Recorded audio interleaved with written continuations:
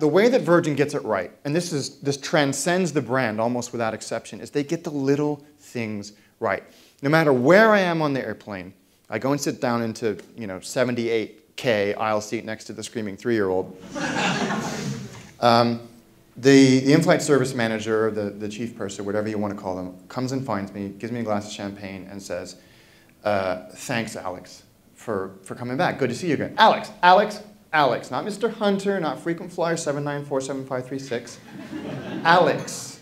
That's amazing. I don't even like champagne, but I'm going to drink that shit because I know where it came from. I know what had to happen for that transaction, that moment to take place. And I will continue to fly them because of the little things like that.